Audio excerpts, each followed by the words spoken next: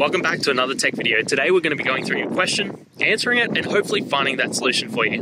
Guys, remember to stay a little bit crazy like me and find that resolution. Now, let's continue on.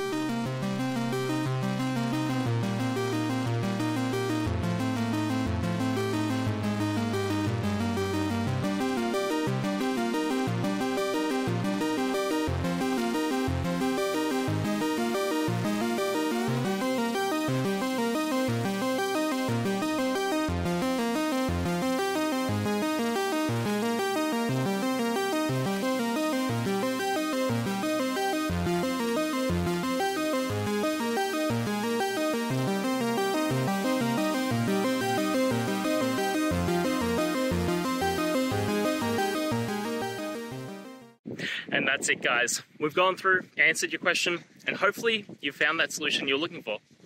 Guys, if you did, please hit subscribe. I'd really appreciate it. And until next time, you need technical help, I'll see ya. Have a good one.